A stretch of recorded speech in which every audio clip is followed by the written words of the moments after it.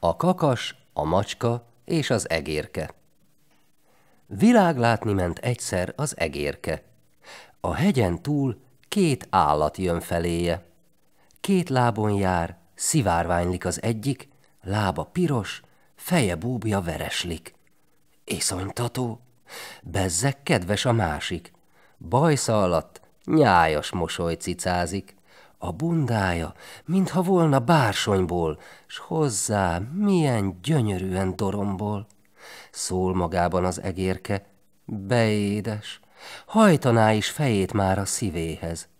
De a másik egy rettentőt rikácsol, az egérke majd kifut a világból. Szedi lábát, rohan lélek szakadva, otthon lassan megnyugtatja az anyja. S hogy a béke elárad az egérkén, kérdi, Mitől ijedtél meg, szegénykém?